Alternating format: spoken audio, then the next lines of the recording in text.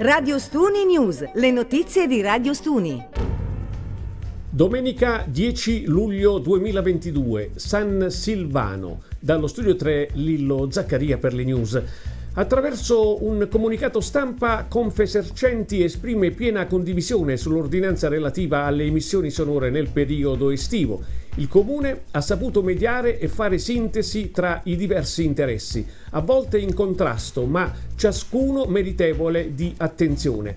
Da una parte è stata valutata la necessità degli operatori economici di organizzare nei prossimi due mesi le manifestazioni musicali e gli spettacoli temporanei che hanno lo scopo di offrire ai turisti una offerta di intrattenimento all'altezza delle aspettative e dall'altra si è inteso tutelare il diritto alla salute ed al riposo della cittadinanza. Diverso avviso per quanto riguarda invece le altre due ordinanze emanate. Una prima interpretazione, sottolinea Confesercenti, ha fatto emergere nelle nostre imprese associate diversi dubbi interpretativi che ci è stato difficile chiarire. Tali divieti di fatto determinano le condizioni per la cessazione e la chiusura delle attività. Con eh, spirito di collaborazione e di apertura al dialogo è stato chiesto con urgenza un incontro che è stato accettato dalla Commissione straordinaria in modo da evitare ulteriori disagi. Festeggiati i 60 anni di sacerdozio di Don Cosimo Palma per aver servito con fedeltà ed impegno la Chiesa. L'altra sera, nella chiesa di San Francesco d'Assisi, i sacerdoti della nostra città, i fedeli e tanti amici hanno manifestato la propria gioia, il servizio. A nome dei presbiteri e a nome della nostra città, grazie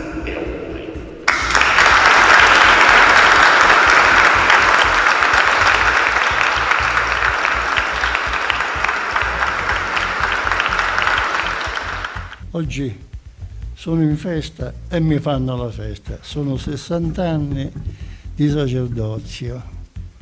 Sono stato ordinato nel 1962 all'Annunziata. Vivo il mio sacerdozio oggi qui nella chiesa di San Francesco. Un cammino che è abbastanza lungo, che certo nel cammino ho incontrato, ho incontrato persone tante, in ambienti diversi, con caratteristiche diverse. La famiglia prima di tutto. È stato il germe, è stata la culla della mia vocazione al sacerdozio. La parrocchia di origine, l'annunziata, anche quella, una seconda famiglia, la famiglia di fede. I due sacerdoti che ho incontrato in quella parrocchia, Don Giovanni Antelmi e Don Vincenzo Marseglia, i miei angeli custodi, Don Vincenzo mi ha portato a Brindisi nel seminario minore e lì ho vissuto tre anni di seminario. Da Brindisi, seminario minore, a Molfetta, seminario maggiore. Lo sport eh, mi ha preso pure, il pallone è stato sempre la mia passione, è il filo rosso del mio cammino da laico, da eh, ragazzo, da giovane e da sacerdote, ho amato molto il pallone e giocavo. Ho fatto delle partite importanti pure al campo sportivo di Ostuni. Ero tra quelli che mettevano in pericolo il portiere. E come hai fatto, dicevano, a fare il gol? Ho fatto.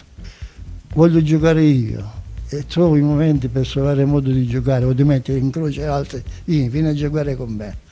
Mi piace giocare, e certamente, dopo la frattura della gamba destra, io non, ero, non sono nato di sinistra, ho imparato a giocare di sinistra. Il povero portiere, certi colpi che avevano col mio sinistro, e la parrocchia della cattedrale è stata eh, il mio forte di, di esperienza sacerdotale.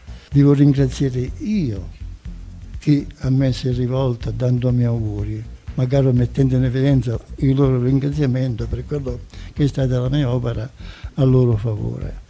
Ma c'è un grazie a Dio da dire tutti, tutti, perché un sacerdote è sempre uno strumento di sollecitazione al bene, di formazione di umanità, di fede e quindi c'è un bene comune che si ricerca e si mette in evidenza. Grazie a voi che avete anche questa attenzione di spargere cose belle perché un sacerdote che fa 60 anni è nella bellezza della vita, deve cantare la bellezza della vita e deve incoraggiare a vivere la vita, grande onore di Dio, senz'altro. Presso la confraternita del Carmine di Ostuni, quarto giorno di novena per la solennità della Beata Vergine del Monte Carmelo. Alle 8 si tiene la Santa Messa, alle 19 il Santo Rosario e la benedizione eucaristica. Per tutta la novena la messa sarà celebrata da Don Francesco Cisaria. Nella splendida cornice del Giugrà in contrada Pascarosa questa sera alle 22 Deborah Johnson in concerto, reduce dalla recente partecipazione a tale quale show. Figlia del grande cantante e musicista Wes, presenterà in esclusiva il suo nuovo singolo I Feel Love, appuntamento da non perdere. Prenotazioni al 327 014 72 86. Questa sera alle 21 nel chiostro San Francesco verrà presentato il libro Meglio di ieri di Laura Boldrini, già presidente della Camera dei Deputati. Dialoga con l'autrice il cardiologo Fabio Sgura. Evento Un'emozione chiamata Libro in collaborazione con l'Associazione Amici del Cuore. Occasione utile per discutere di sanità e prevenzione. Inaugurata la mostra d'arte contemporanea itinerante La Via dell'Angelo presso il Museo Diocesano. Espongono 12 artisti. L'evento è curato da Enrico Mea e da Rassegna Italia. Le opere saranno in visione fino al 15 di luglio. Le parole di Luigi Casale. Buonasera a tutti, sono Luigi Casale, sono qui a, a questa mostra che si chiama La Via dell'Angelo è una mostra itinerante che è stata ideata dal maestro Enrico Meo. Enrico Meo è un artista di grottaglie che ha avuto una grandissima risonanza come artista, come pittore, dipinge a larga scala anche a livello internazionale e ha radunato, diciamo, adesso questa volta nella quinta edizione che abbiamo organizzato, ha messo insieme questi 12 artisti che sono diciamo, di territori diversi. Il tema della Via dell'Angelo quindi è un po' un tema ha, eh, sul quale tutti gli artisti si sono soffermati dando appunto una, una parte una interpretazione diversa di questo tema, che è un tema molto sentito da parte soprattutto di, di, di molti di loro. La mostra eh, si terrà, allora noi abbiamo avuto una proroga fino al 15 di questo mese, quindi è stata prolungata in questo contesto bellissimo che è la Casa del Vescovo. La Casa del Vescovo è un contesto veramente, veramente eccezionale anche dal punto di vista architettonico, ambientale, e quindi perché poi il Presidente Michele Conte ci, ha, ci è venuto incontro dandoci questa bellissima location. Alle 11 in punto su Radio Stuni ritorna il programma in dialetto Stune Listunis con ospiti d'eccezione coadiuvati dalla partecipazione straordinaria dei nostri affezionati ascoltatori. Il bollettino di ieri registra 8.251 contagi in Puglia e 8 decessi, 864 casi Covid nella nostra provincia. Si è spenta all'età di 92 anni Angelina Calamo, vedova Maggiolini. La celebrazione si equivale oggi alle 10 nella parrocchia di Santa Maria, madre della Chiesa. Sentite condoglianze alla famiglia.